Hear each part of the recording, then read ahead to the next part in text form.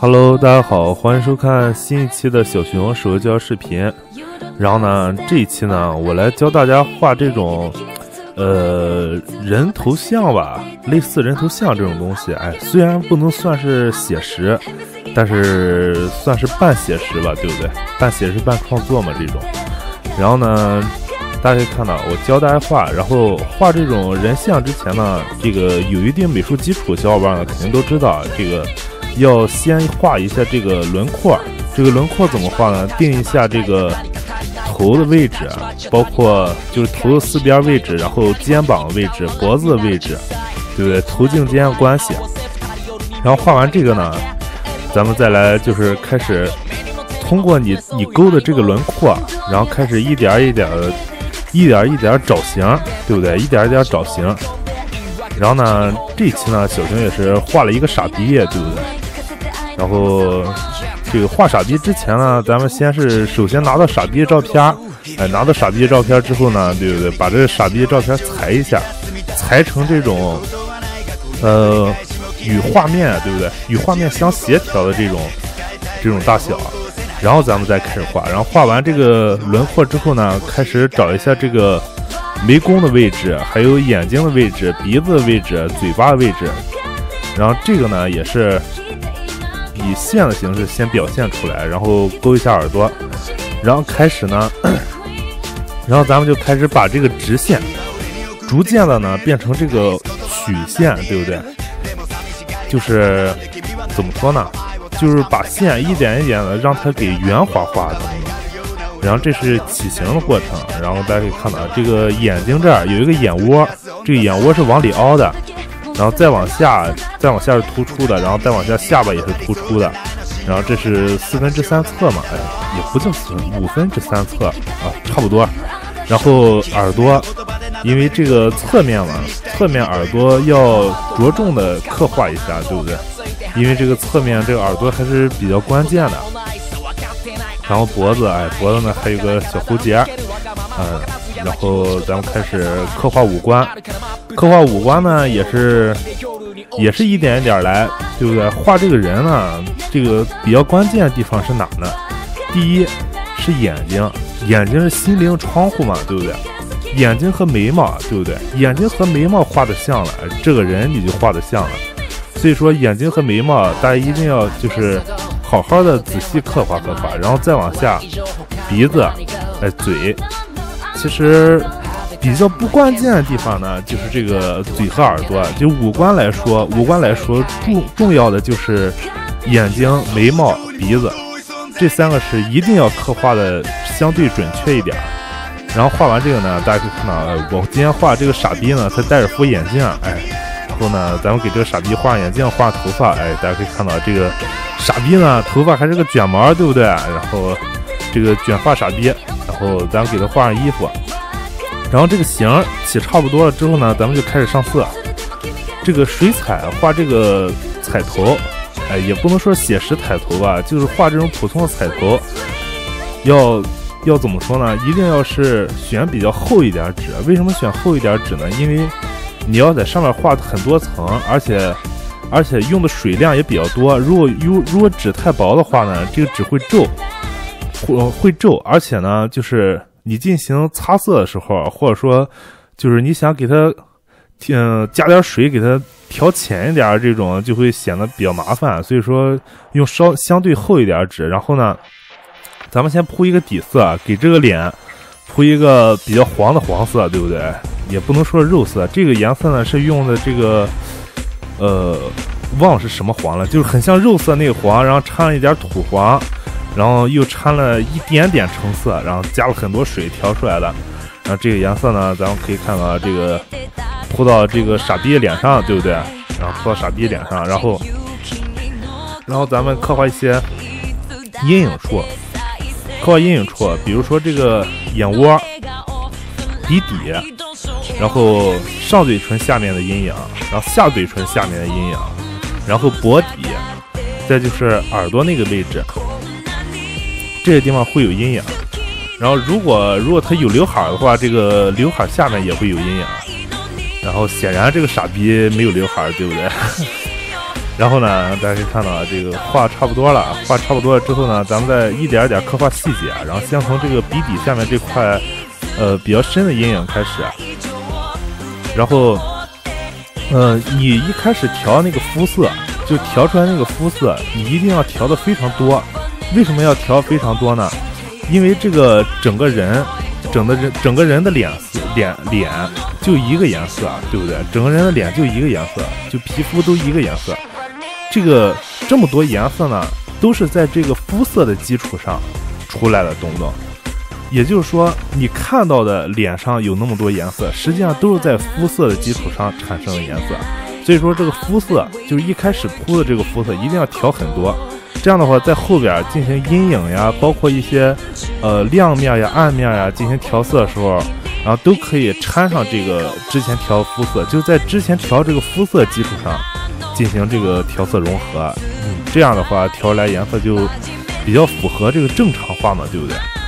然后就是，哎，不过你要是有那种，对吧？有那种想法，哎，有想法画那种比较高大上的画，你也可以自己。自己去弄那种对比性比较强的颜色嘛，对不对？我之前也是看过一个国外大厨啊，一个国外大厨画人像的时候，喜欢用一些，根本就不可能在人脸上那种颜色啊，对不对？然后画出来超漂亮。然后呢，小熊也是不敢这么玩。然后呢，大家可以看到，这个画完这个上脸呢，咱们就开始画一下这个眉毛。这个眉毛也是用。也是在这个肤色基础上用肤色，然后再加上棕色，再加上一点儿那个浅黑色，哎，也不能也不知道是不是浅黑色，反正我感觉它就比黑色稍微浅点那个颜色在那个颜料里。然后呢，用那个颜色调出来了，然后点一下眉毛，然后点一下眉毛之后呢，在眉毛边缘处，眉毛边缘处再用水把它给挑干净点儿，挑干净点儿，让它能透出底下的那个肤色。然后再铺一下这个脸，反正整体来说还是挺容易的。这期视频小熊也是没加速，虽然说中间一直剪来剪去的，但是就是一些，但但是我剪的都是一些没什么用的地方，就关键地方都给大家留着，大家可以看一下，对不对？然后铺完这个脸呢，咱们就开始铺这个头发。这个头发铺的时候，大家一定要注意，要留出这个头发的这个高光位置啊。懂懂，小伙伴们，就是留下那个高光位置。所以说呢，就是这个铺的时候要这么一点一点铺，然后中间那一圈儿就是高光的地方呢，咱们要留出来，对不对？然后留出来之后呢，大家可以看到这个小熊呢，它是先铺了一层这个呃棕色吧，棕色还是熟褐，我也不知道。然后铺了一层这个，然后呢再调了一笔深点颜色，开始往里添加，对不对？因为这个。如果你一上来就用这种比较深的黑色呀，或者说什么颜色的，去铺这个头发，到最后就会形成一种，呃，很阴沉的感觉，就很重、很阴沉的感觉。然后呢，呃，如果一上来用这种比较，呃，也不能说是鲜亮，就是相对而言比较鲜亮这种颜色铺一层底儿，然后呢，咱们再铺点别的颜色，这样就会显得，呃，要重有重，然后。要透亮的感觉呢，也多少有那么点透亮感觉，反正整体来说还是挺萌的，对不对？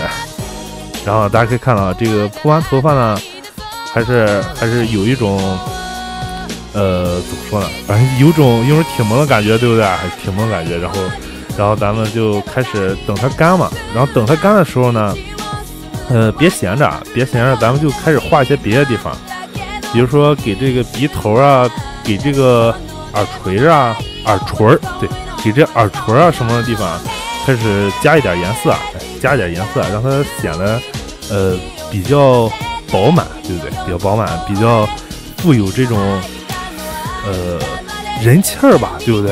人气儿就那种呃白里透红嘛，对不对？人人人都说这个白里透红，哎，很好看，对不对？呃，看看看看看看看，哎，这样子，整体来说还挺萌的，对不对？然后。咱们再稍微勾一下头发，然后开始给这个傻逼画眼镜。哎，这个这个整个人脸上呢，这个脸画完了，他其实这种戴眼镜的戴眼镜的这种人头还是比较好画的。为什么比较好画呢？因为你只要把这个眼镜抠的稍微细一点，这整个画面都会显得一种呃比较好看的感觉吧，对不对？就是一种萌萌的感觉。所以说这个眼镜大家一定要刻画的细致一点，就比如说小熊就呃非常细致的画了这副眼镜，哎，这副眼镜实际上呃画的用的时间呢和这个和画这个脸的时间差不多。然后这眼镜呢其实有几个非常关键部分，第一，呃是外边这个深色的这个镜体啊，不是镜体镜框，镜框画完之后呢，注意这个镜片位置。镜片位置是一层亮的，懂不懂？就那一圈是有厚度的，它是一层有厚度的亮亮边，然后亮边中间呢还会夹着一一小条暗边，懂不懂？就是那个眼镜会卡在那儿，有一小层暗边。然后画完那个之后呢，眼镜还会有一些高光的地方，就比如说，呃，贴近边角的地方会有那么，呃，一圈，呃，不能不能说一圈，半圈高光，非常明显。然后。然后再就是画完这个眼镜之后呢，咱们就根据这个眼镜啊开始给这个眼镜下面皮肤打上这个眼镜的投影，对不对？打上这眼镜的投影，这样的话显然这副眼镜是真正在这个人脸上。很多小伙伴呢，就是画画眼镜的时候，画眼镜是画完了，但是老是忘记画这个投影啊。实际上不画这个投影，就会看起来这个眼镜，呃，不像不像是戴在脸上的，像是刻意加上的，懂不懂？所以说这个投影一定要画的稍微，呃仔细一点。就比如说，呃贴近皮肤的位置，就是眼镜和皮肤比较挨得近的地方呢，这个投影会比较深。然后离得越远呢越浅，越远越浅，懂不懂？啊就那个意思啊，对不对？小伙伴们理解理解就会懂的。然后咱们画完这个头部呢，然后就开始画这个衣服。啊。这个傻逼呢也是穿了一件棕色的衣服啊，对不对？棕色的这种。呃，小皮衣吧，然后小皮衣，然后咱们就给它画，然后还是，呃，先铺一层这个底色啊。这个铺底色的时候呢，由于这个，呃，由于这幅画的这个重点，对不对？这个重点是在这个头部位置，在头部位置，所以说这个衣服一定就是你就算想画的很精细，你也你也尽量的别画太精细。为什么呢？因为你画太精细的话，它会抢，它会抢掉这个主体部分。所以说啊，咱们就稍微的，呃，粗略的画一下，铺一层底色，然后呢，留出这些，呃，比较强烈的反光，留出比较强烈反光之后呢，再等它稍微干一下，然后用这个，用这个比较深的颜色呢，对不对？用这比较深的颜色，咱们给它画一下那些，呃，褶皱呀、阴影呀什么的位置啊，把这些地方画一画，这个整个衣服就稍微就会有那么一点感觉。然后整体来说呢，还是比较轻松加随意，对不对？这期视频呢，也是推荐，就是有一定、有一定、哎，有一定基础的小伙伴们呢，呃，可以去跟着尝试一下。然后，然后平常刚开始学画画的小伙伴呢，也是，呃，也是可以画的，也是可以画。但是呢，如果画出来效果不尽人意呢，呃，也是怎么说呢？还是多加练习吧，对不对？这个。毕竟画画不是一朝一夕就能完成的嘛，对不对？小熊也是一直在这天天也是练习画画嘛，练习画画，希望有朝一日，对不对？有朝一日，小熊能成为一个真正的，哎，真正画画的，对不对？啊，现在也是特业余，这个学水彩呢也是自己学的，也没人教啊，对不对？也没人教，就自己在这琢磨。然后这个画这个彩图呢，也是也是看了一些。教程吧，对不对？看一些教程，然后慢慢琢磨，然后一幅一幅练出来了，对不对？然后还是多少有那么点感觉，对不对？哎，多少有那么点感觉。反正我感觉这一期视频做的还是呃比较新手化，对不对？基本上小伙伴们看看都能呃理解个八九不离十吧，我是那么感觉。毕竟毕竟我也算是我也算是半个新手吧，对不对？哎，然后我也是自己琢磨的，然后琢磨出来之后呢。然后研究也是自己琢磨点儿，呃，比较简单易懂的方法吧，对不对？教给小伙伴们，然后小伙伴们呢，也是希望小伙伴们都能，哎，都能喜欢上画画，哎，喜欢上画画。然后不求你们都会画画，我求你，我是希望你们都喜欢上画画。然后这也是，呃，比较好的，对不对？然后大家可以看到这个铺完呢，咱们就是再用这个笔。这个点一下这个头发上面的比较重的地方。这头发什么地方比较重呢？就是头发堆积比较多的地方。哎，由于小熊画这个傻逼呢，他是个卷毛，他这个卷毛呢，所以说这头发上，他这个堆积比较多的地方呢，哎，他比较难找。然后比较难找呢，小熊就，呃，就就差不多随便铺几个地方，哎，铺几个地方，差不多有那个意思就行了。然后画完这个傻逼呢，咱们开始给这个傻逼画背景啊。然后，然后也是画完这个头像呢，这个背景也是比较重要的。然后。这一期呢，小熊画这个人，大多数是以这个棕色为底色，然后大家可以看到这个脸呢，小熊也是加了很多这个棕色，然后衣服呢也是一个棕色，然后头发呢，小熊铺的底色也是一个棕色，然后就算这个黑框眼镜，哎，小熊也是加了一点棕色在里面调色，所以说呢，这个背景小熊就准备用一种呃蓝绿色，蓝绿色或者说。呃，再掺点祖母绿啊什么的这种颜色来作为它背景色，这起到一种衬托的作用吧，对不对？起到一种衬托的作用，就是这个对比色嘛。这个对比既不能太强烈了，然后小伙伴们也是需要讲究一下这个配色问题。就比如说，呃，你你这个主体物是一个偏蓝色的，对不对？他穿个蓝衣服，你背景整个呃整个什么？啊，不对，比如说他穿红衣服啊，对不对？他这个主体物他穿红衣服，然后你给他背景整了一个呃绿色的这个背景啊，他就显然不合适嘛，对不对？为什么呢？这个红配绿赛狗屁嘛，对不对？所以说当然不可以。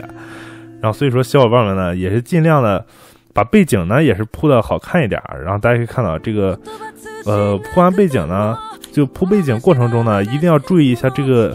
呃，眼镜那的那块背景啊，眼镜的那块背景呢，小伙伴们一定要就是，呃，铺完之后，再拿笔，再拿湿笔把它挑一下，挑一下什么意思呢？就是说让这个眼镜这这块背景比后面这个背景要浅一点。为什么要浅一点呢？因为眼镜它是，呃，它是块玻璃嘛，对不对？它是块玻璃，然后它会，它会过滤到。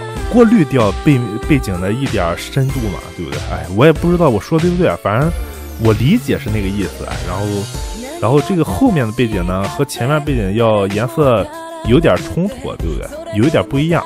然后前面这个背景呢，大多是以以以这个绿色、蓝色为基调，然后后面这块背景呢，小熊就以小熊就把这颜色稍微调的稍微深了一点，然后铺上。这样的话，形成一种怎么说呢，前后分得开的关系吧。然后大家可以看到，这个铺完这个背景之后呢，然后小熊也是搞一些效果上去，然后搞一些效果，显得这个背景不是那么单调，甩了一些，就刻意去甩了一些点儿上去。然后有些点呢是甩到已经干掉的画面上，已经干掉画面上甩上点呢，这点儿到最后就会变成一个点儿。然后甩到湿的画面上呢，这个点儿。就会在里面慢慢的一点一点一点一点扩散开，对不对？这也是水彩比较好玩的地方。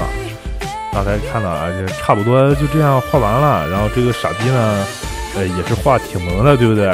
实际上这个傻逼长得没这么帅，对不对？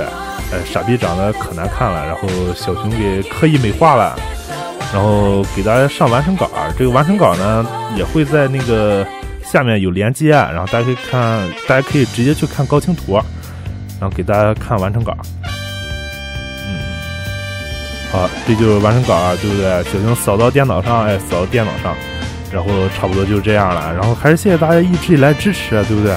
还谢谢大家一直以来支持。然后咱们下期再见，拜拜。